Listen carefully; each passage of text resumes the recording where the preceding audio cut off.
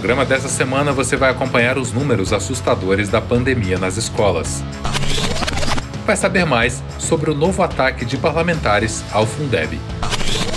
E vai saber por que deve ser comemorado o centenário de Paulo Freire. Confira. Os índices da pandemia nas escolas públicas do estado de São Paulo continuam com um crescimento acelerado. Em reunião realizada na sexta-feira, dia 19 de fevereiro, a professora Bebel, presidenta da APUESP, demonstrou a preocupação da categoria com o Covid-19. Para mim é sempre uma satisfação estar com vocês, né? Seja nos momentos bons, esse é um dos momentos muito tristes, né? Ruins, mas nós estamos juntos, né? Aí tentando reverter e defender vidas. Eu não vejo outra perspectiva para nós que não seja essa. Qualquer outra né? Não estamos pedindo salário, né? Não estamos pedindo nada. Estamos pedindo o seguinte, pelo amor de Deus, salvaguarde nossas vidas, não deixe a gente ficar doente. E a cada momento que passa, o mapa está aumentando, né?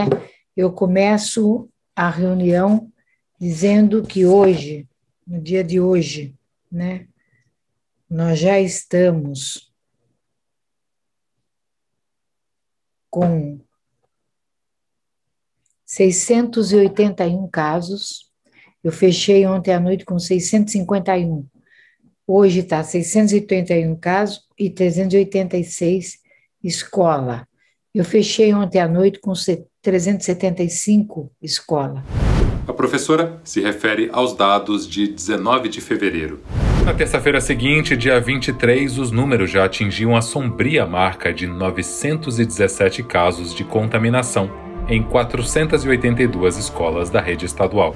O secretário não está cumprindo os protocolos. E pegar, constatar isso, gente, pelo amor de Deus, vamos constatar, tá? O secretário não está cumprindo os protocolos. Ah, tem que usar a seguinte frase: para dentro da escola, para fora da escola e da boca para fora do secretário, ele diz que tem protocolo. Para dentro da escola, não. Secretário de duas frases, uma para dentro da escola e outra para fora. Não tem protocolo nenhum, porque ele está juntando salas de aulas de forma inadequada. Tem gente sem máscara. Uma mãe escreveu no meu Face denunciando. Mandei meu filho um, um dia para a escola. Depois não mandei mais porque foram jogar bola, futebol, sei lá o quê, estavam todos suados e aglomeraram todos no único bebedouro que tinha na escola. E todo mundo usando o mesmo bico, tá? Então é muito sério isso que a gente está passando nas escolas públicas do estado de São Paulo. No final de 2020, travamos uma verdadeira batalha no Congresso para a aprovação do Fundeb, que garante recursos para a educação em todo o país. Essa semana fomos surpreendidos por um novo ataque vindo do Senado. A CNTE, Confederação Nacional dos Trabalhadores em Educação, convocou uma mobilização contra esse absurdo. Companheiras e companheiros, de forma escandalosa, o Senado Federal quer passar o trator sobre a Constituição Federal. Esta semana, eles querem aprovar mudanças a nossa Constituição, acabando com a vinculação de recursos para a educação e para a saúde. Se essa proposta de emenda for aprovada no Congresso Nacional, é um desastre para a educação brasileira, porque acabando com os 25% vinculados da educação de estados e municípios, acaba com o Fundeb, acaba com toda a perspectiva de atendimento à educação pública e investimento nesta política e nos profissionais da educação. Por isso, esta é uma semana de mobilização. Convocamos cada companheira, cada companheiro para participar da jornada do dia 24 de fevereiro, quarta-feira, que começa com um ato simbólico em frente ao Congresso Nacional, diversas atividades de live de tuitaço e a pressão sobre os senadores para evitar esse desastre para a educação brasileira na próxima quinta-feira, dia 25, quando eles querem colocar em pauta. Contamos com cada um e cada uma nessa mobilização. Sigamos juntos, firmes, para barrar mais essa medida absurda do Congresso Nacional.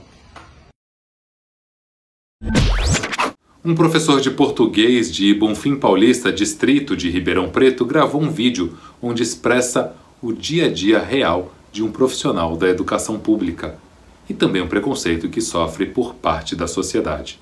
Vale a pena conferir. O vagabundo do professor. O vagabundo do professor é aquele que tira dinheiro do bolso para comprar material ao aluno. O vagabundo do professor é aquele que faz papel de pai, é colo que acolhe, é lágrima que rola, ao ver a fome, a dor e o abandono da família de muitos alunos. O vagabundo do professor é aquele que adota crianças e jovens como os próprios filhos. O vagabundo do professor é aquele que assume muitas vezes o papel da família, ensinando boas maneiras para aqueles que não foram educados em casa. O vagabundo do professor é aquele que é esculachado, pisoteado, enquanto mitos e celebridades são exaltados. O vagabundo do professor é aquele que leva trabalho para casa e ainda é chamado de folgado por muitos cidadãos. Pois é, o vagabundo do professor forma todas as profissões, mas é vagabundo demais para ter o devido reconhecimento de uma nação que valoriza a mensagem fake do zap e ignora o conhecimento dos livros. E assim vou seguindo, vagabundeando nos caminhos da educação, esperando ansiosamente pelo dia em que o conhecimento vencerá a ignorância. Educador Paulo Freire completaria, se estivesse vivo, 100 anos em setembro de 2021. E para homenagear o patrono da educação brasileira, nós preparamos uma série de reportagens que você irá conferir ao longo de nossos programas.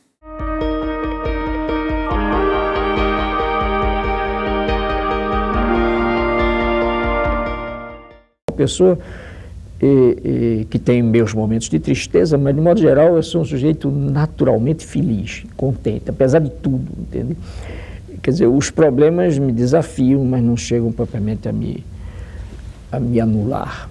Paulo Freire é uma referência mundial né, de educação. É, apesar de ter algumas vozes aí contrárias a todo o trabalho, todo o legado que ele deixou, né, é indiscutível né, a força dele na educação.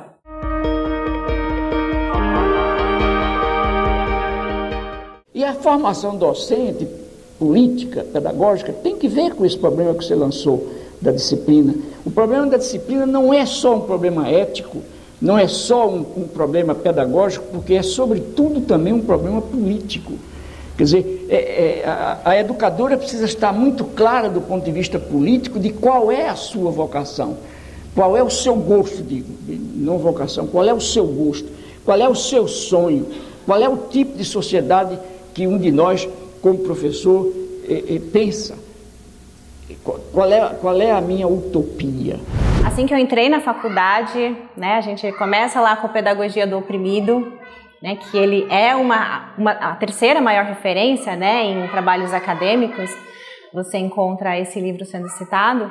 Nesse livro, né, especificamente, mas ele né, reverbera essa fala também em outros momentos, é, é a ideia da posição do educador frente ao educando, né? Que a gente vem dessa educação bancária, tradicionalista, que coloca o educador, o, o educando bem distante ali do, do, de quem está educando, o, e o educador está naquela posição de, de quem detém todo o conhecimento, né? Não para para estar né, na, mesma, na mesma frequência ali que o educando. E eu acho que isso foi fundamental, né, para eu começar a pensar no que é ser um educador, né? Eu preciso, antes de tudo, ver o meu educando. O nosso programa fica por aqui, mas você pode revê-lo ou consultar os anteriores no portal da APOESP e se informar sobre os últimos dados da pandemia. Até a próxima semana.